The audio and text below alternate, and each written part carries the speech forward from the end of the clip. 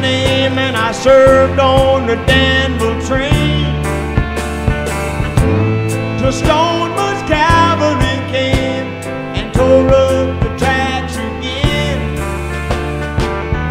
In the winter of 65, we were hungry, just barely alive. I made the tent for Richmond and fell it's town.